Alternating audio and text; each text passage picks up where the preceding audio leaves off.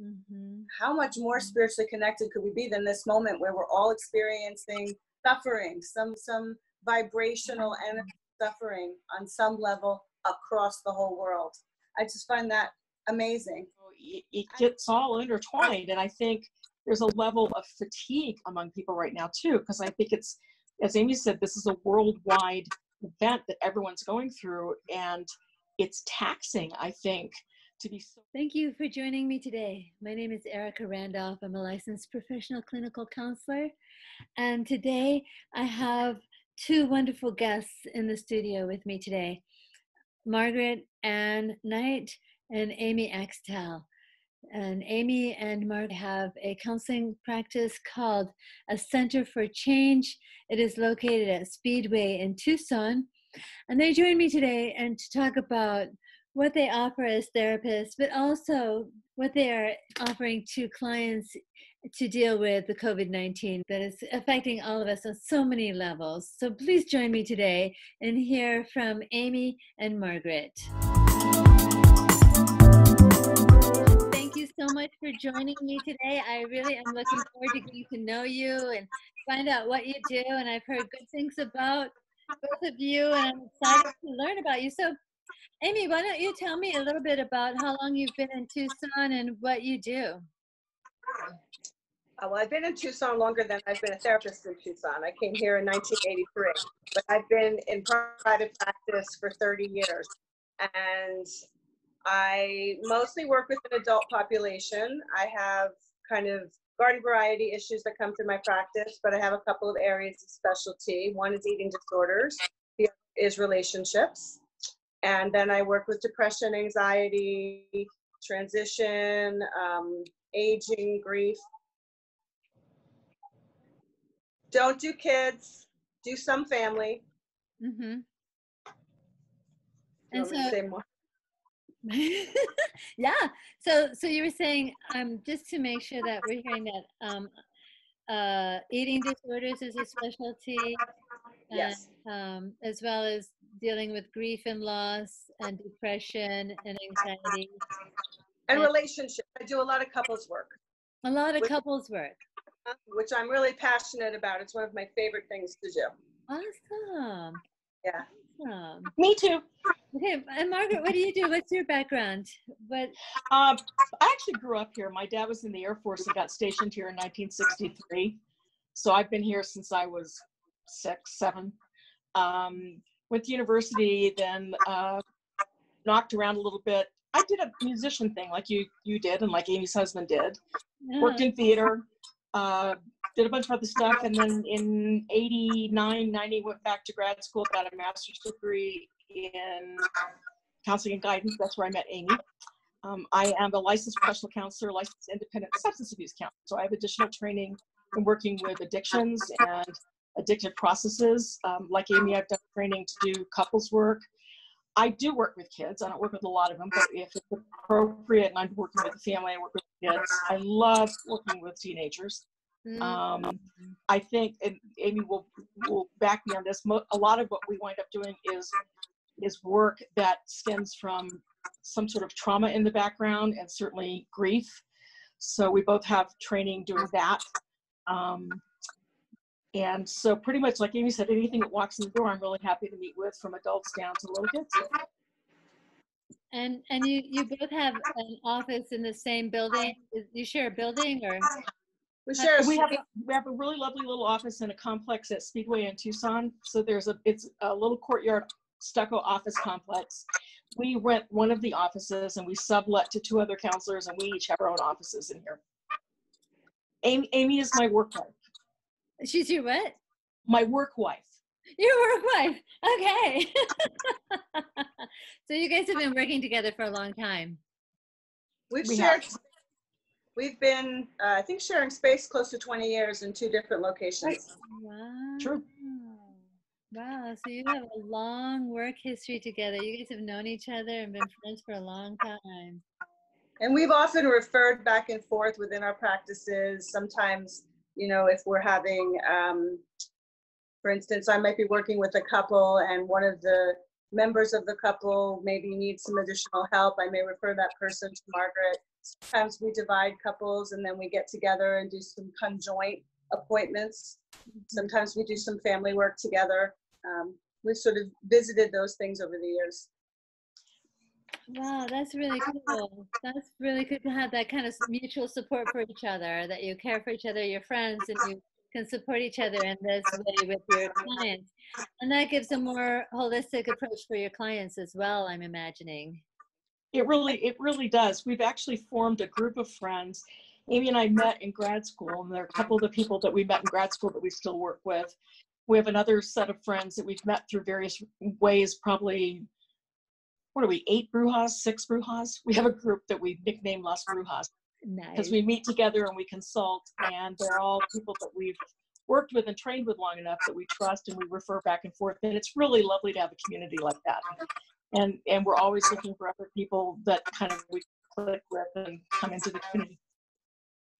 Well, that sounds really, really awesome. the other, the other thing I think allows Margaret and I to do the sharing of clients sometimes is I think we kind of have a similar philosophy and a similar approach to this work, which helps. You know, sometimes Very much. you're not really in alignment per se with another counselor's perspective on something. It gets tricky to try to collaborate. So that's been a blessing. Well, thank you. That reminds me of the next question I want to ask you. What is your philosophy and what, what is your um, therapeutic um, theory that you feel? I see myself sort of as somebody who uses developmental theory the most, meaning that I really, regardless of what issue is in front of me, I really try to look for the places where the person has gotten stuck in their development, somewhere along the line, probe that a little bit, figure out what's the trauma, they're an event, what keeps them stuck there, what has the stuckness done to prevent them from flourishing or becoming the person that they want to become so that's sort of how I look. The lens probably I use the most. And certainly that fits with eating disorders. You know, there's a lot of arrested development with eating disorders and addiction. So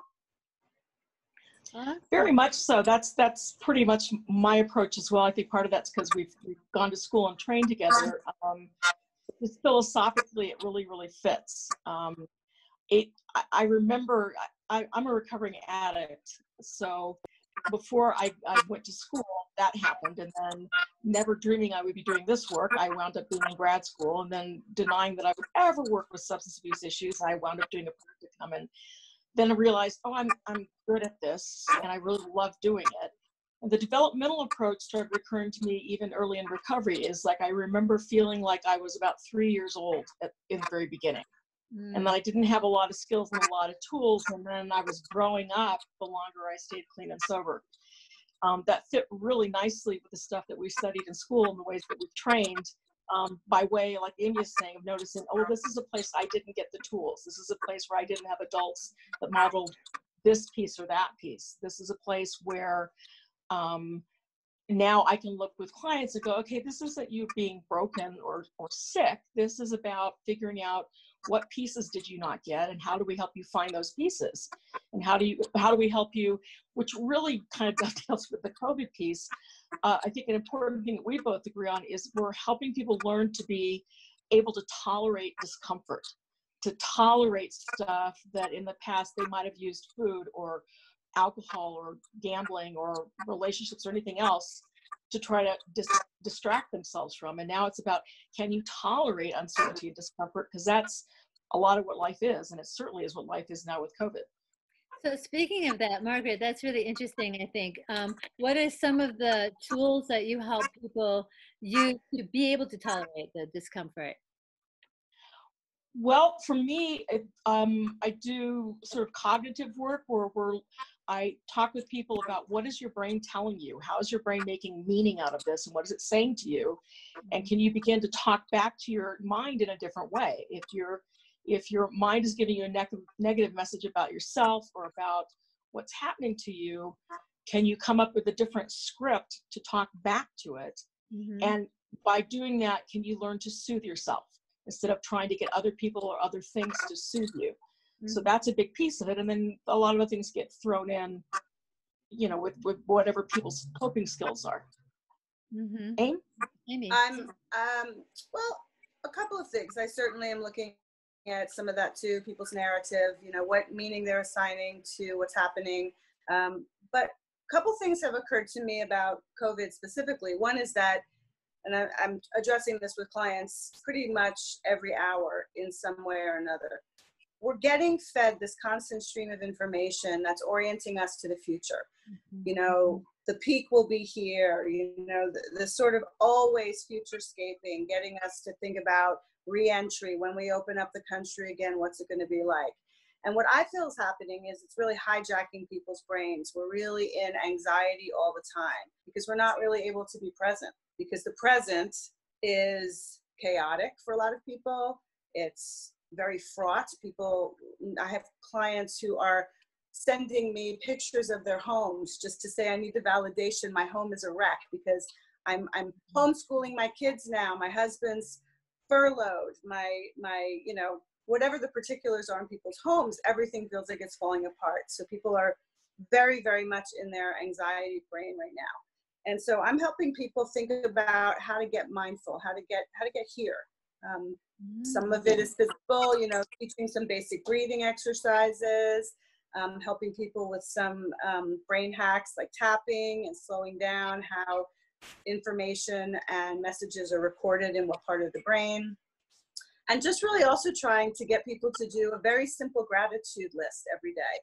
Today I am well. Today my partner is well. Today I have a roof over my head. You know, trying to get people to sort of stay with the data they have now. Because everything in the future we don't know. And I think it's going to continue to evolve in very um, uncertain ways. So I love it.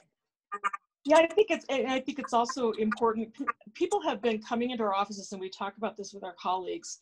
People who've never really experienced anxiety before saying, "I'm feeling anxious and I don't know why." Mm. Um, I, there's less of that as this has gone on, but certainly I think people who have not been used to that, and I think there's also a way that we try to normalize that like this is a time when everybody's feeling uncertain. This is a time where everybody's feeling anxious. Also to sort of go along with amy's stuff i, I want to know from people and clients that i've worked with for a while I, I get this but your your places and the things that you've done that you cope with are gone. You can't go out and listen to music right now you can't go to the gym and work out like you always have. Mm-hmm. For my people in recovery, you can't go to AA meetings, you can't go to NA meetings. Um, they're happening online and they're on Zoom, but that's a really, really different thing. And there are some folks who aren't really up on the, the technology curve and it's kind of intimidating. I think in recovery, um, so, so part of it is like being able to say to people, so then how do you get outside and go for a walk? How do you find a way to exercise? If you're if yoga is your coping strategy, are you looking for yoga on YouTube? Are you looking for online classes? Mm-hmm. Um, and with recovery, I'm noticing the longer term people, the people who have a foundation in it, seem to be doing fairly well and they're adjusting to Zoom meetings and they have people they can talk to on the phone but this has been really destabilizing for people who are in early recovery or who are just mm-hmm. thinking about whether or not they need to take a look at their behavior. And obviously, for, for a lot of people, alcohol, pot, other drugs, they're, they're coping strategies. And that's that's a really tough piece right now for people, I think, because there isn't a sense of stability with it. Mm, I really appreciate that. Go ahead, Amy. Um, I was just going to add the other the other thing that I'm noticing is really pervasive for all clients that I'm working with in some form or another is just grief. There's so much. Oh, yes. There is, I mean, you know, when whether we're looking at the obvious examples of, of seniors, whether they're seniors in high school, seniors in college who are grieving the loss of their ceremonies, you know, their graduations, their proms. Um, you know, I've got clients who had wedding dates this spring, you know, mm-hmm. people that um, aren't able to see aging grandparents. Um, I had a client today and virtually the session was spent just sitting with her. She sobbed because she was just experiencing all of her colleagues being furloughed while she was the one person that they kept on and just losing your tribe and losing all those layers for everybody people losing money economic security um, having to deal with kids lost while you're dealing with your own there's just so much collective grieving I'm also just interested because I'm sort of an eternal optimist. If I'm if I'm naturally inclined in one direction, it's that direction. I sort of feel like there's this fascinating aspect of how it's very so collective, right? When have we ever historically had an experience where the whole world is responding at the same time to the same right. stuff? I sometimes go to sleep at night and I close my eyes and I try to I think can I can I feel the the heartbeat of the world right now? Like it just feels so collective to me and all of us. Very much. And it's it's interesting because I think the other thing that I'm seeing, grief is huge.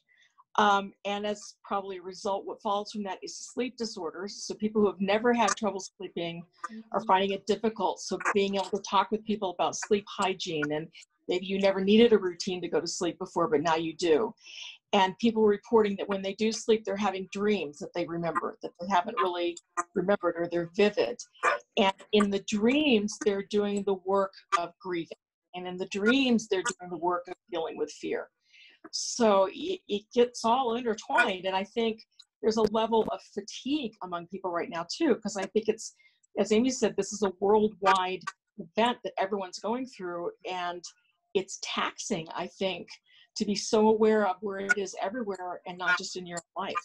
And your own life has got plenty of stuff that's going to tax you anyway. Wow, that's a lot of wisdom from all from both of you on just so many levels there. Just the levels of the addictions, the grief, the eating, um, the sleep disorders, and I mean all those different aspects that you're seeing people coming in. And I really love that image you gave Amy of laying in bed and wondering if you can hear feel the heartbeat of the earth. Because you're right, the whole world is going through this right now. It's, just, it's wild. Yeah. Mm-hmm. I mean, it just to me that's like the miracle of this. That if we wanted to think you know, I use this word loosely in terms of how I would define it, but some degree of spiritual connection. Mm-hmm. How much more spiritually connected could we be than this moment where we're all experiencing suffering, some some vibrational and suffering on some level across the whole world? I just find that amazing. And simultaneously, our Earth is healing, and animals are thriving, and you know, climate change is getting a break. The air is clear in Beijing. yes, right. I, I have dear friends who live in Hong Kong and they are showing photographs for the first time in all the years they've lived there with sunny skies. And I just and seeing like, islands they haven't seen. Yeah. Yeah. It's amazing. That is really, really amazing. Oh my gosh. Yeah, I love the idea of thinking about the spirituality of it. And because it's true, there's a connection that we're having on a sub, sub like you know, the Jungian uh, collective unconscious. Yeah, yeah, yeah, right. It's like I hadn't thought about it that way, but when you said that, I actually got shivers. You know, I was like, "Ooh, I got shivers." That one. she does that to me all the time. Does she? it's shivers. awesome. Words of wisdom. so in, in light of all these different things that you're seeing coming in, and we kind of touched on it before, but maybe are there a few things that, um, I mean, there's sleep hygiene, you know, being careful about how we sleep and all that, but what would be some, some of the things that maybe we haven't spoken about that would be helpful for people to just maybe think about doing? What would you say, Amy? I, I, I was just, I, I was just thinking thinking about this the last couple of days, and Margaret and I started to chat about this before we jumped on here with you. Mm-hmm.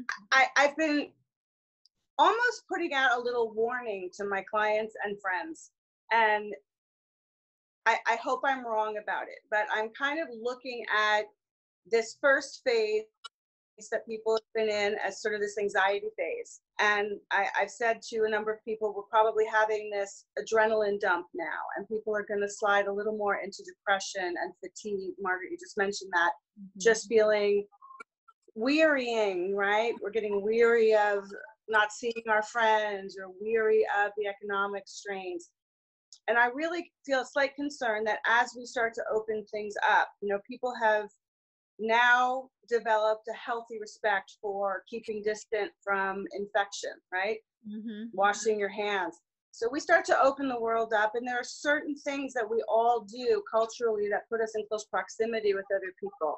And I'm feeling a little worried about the, a certain heightened level of aggression.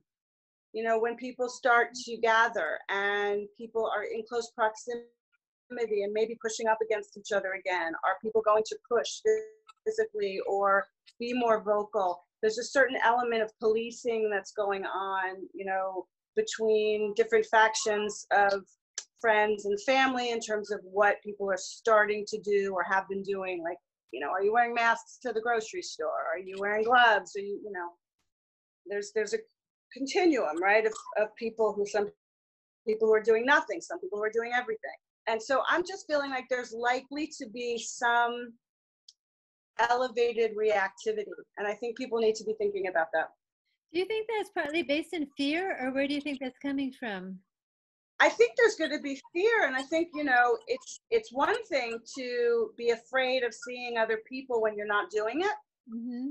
It's another thing to carry that fear back out into the world when you're interacting with people.